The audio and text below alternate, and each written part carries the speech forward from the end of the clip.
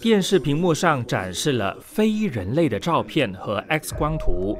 墨西哥国会众议院星期二再次上演一出闹剧。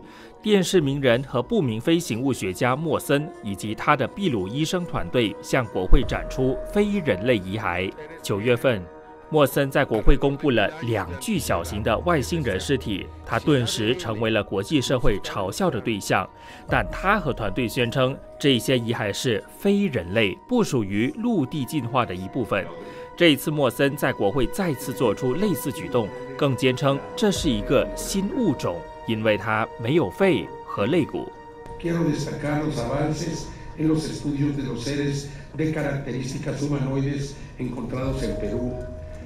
así como la presentación de, las, de dos especies nuevas con sus respectivos estudios que vamos a tener el día de hoy.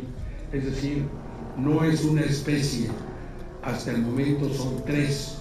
Y les quiero decir algo más, no son las únicas, hay más. El descubrimiento es mucho más grande de lo que pensábamos.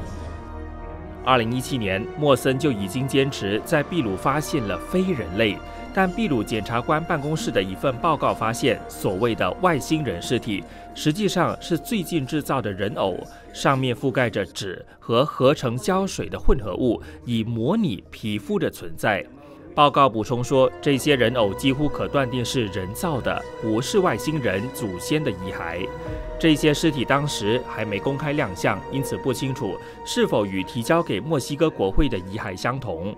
这次墨西哥国会在办外星人听证会，整场听证会花了三个多小时，议员们还和莫森讨论外星人。